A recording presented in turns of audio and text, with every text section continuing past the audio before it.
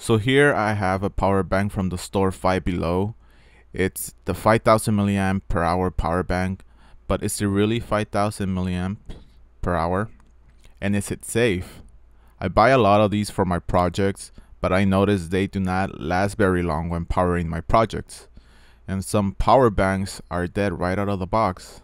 And once I open up the power bank to check the battery, the battery is swollen.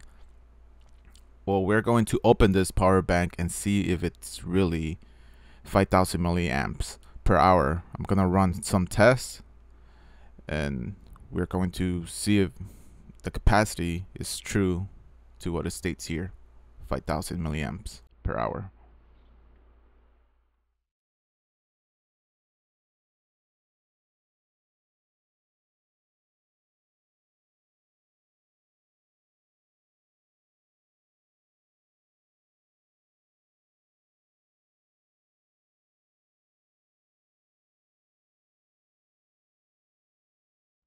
Here is the Five Below power bank and here is the power bank that I got from Amazon.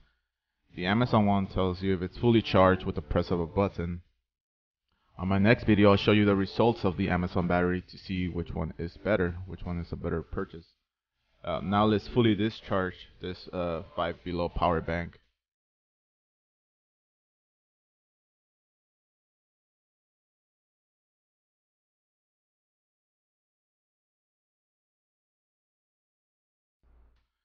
As you can see right out of the box, it's almost fully discharged.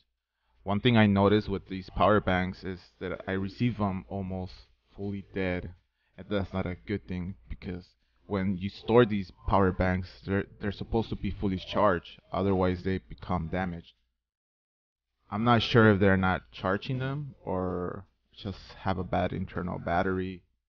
They don't hold a good charge but some that I have open are almost discharged and are already swollen. So they don't work right out of the box. So they're basically trash. About one third of the power banks that I have gotten at five below are bad and I have to trash them. Another reason why not to you shouldn't buy these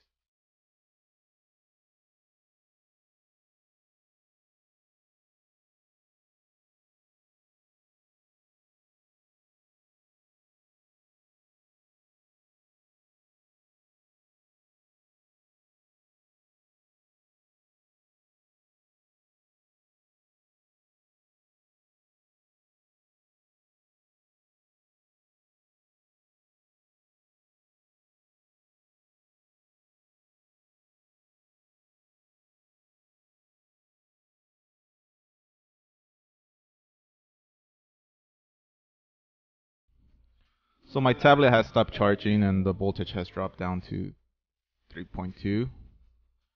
It dropped to 2.9 and then it recovered to 3.2. So it's fully discharged.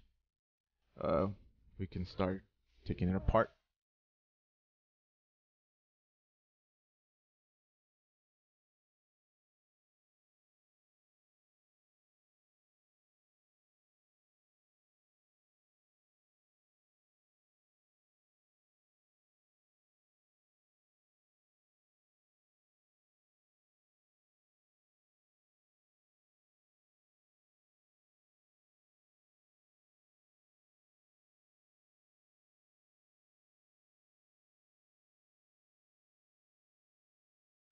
So I'm connecting the battery alone to my charger here.